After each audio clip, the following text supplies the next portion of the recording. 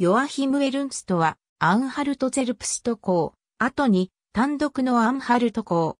アンハルト・ゼルプスト公、ヨハン4世と、その妻で、ブランデンブルク選帝公、ヨアヒム1世の娘であるマルガレーテの間の次男。ヨアヒム・エルンストは、父の監督下で高度な教育を受けた。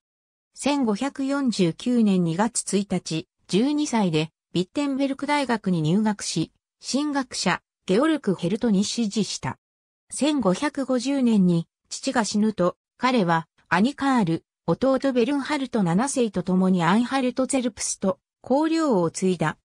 三兄弟は1553年に、叔父のゲオルク3世が男子のないまま死ぬと、アンハルト・プレッツカウ公領を相続し、1561年にもう一人の叔父ヨアヒムからアンハルト・デッサウ公領を相続した。また1562年には、いとこのボルフガングにアンハルト系天公領を譲らせている。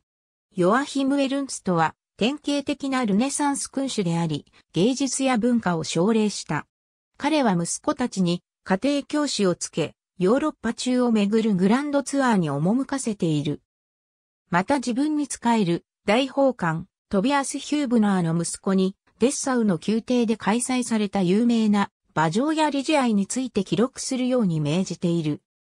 1561年にアニカールが、1570年に弟ベルンハルト7世が亡くなると、ヨアヒム・エルンストは1252年にアンハルト公領の分割が行われて、以来、初めてアンハルト公領を完全に再統合した。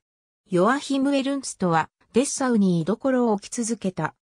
彼は1572年にアンハルト公領の国宝を制定し、1582年にはゼルプストにギムナジウム・フランシスキームという学校を設立している。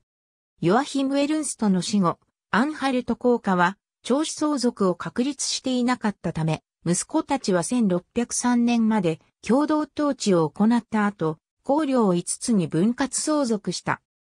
1560年3月3日、バルビハク・ボルグガング一世の娘アグネスと結婚し、間に6人の子女を設けたが、1569年に死別した。